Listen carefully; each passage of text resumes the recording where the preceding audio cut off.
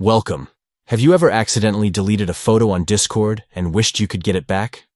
Today, I'll guide you through the process of restoring deleted photos on Discord using your Android device. Let's jump right in. First, open the Discord app on your Android device.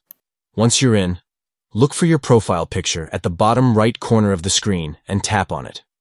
This will take you to your user settings. Next, in the settings menu, look for the gear icon at the top right.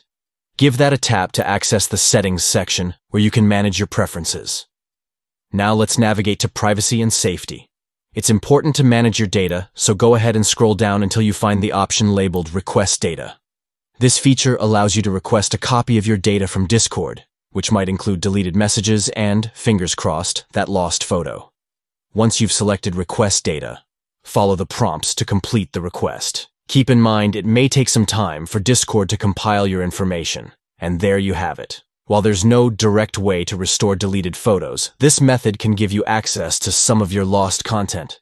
Thank you for watching, and I hope this helps you recover your cherished memories on Discord.